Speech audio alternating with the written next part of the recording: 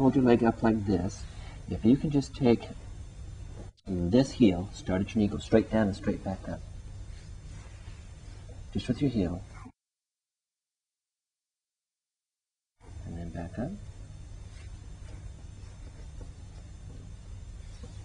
Okay, let's do this side. I'll hold your leg.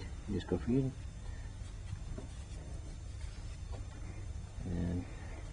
and go down and then try to come back up too, slowly.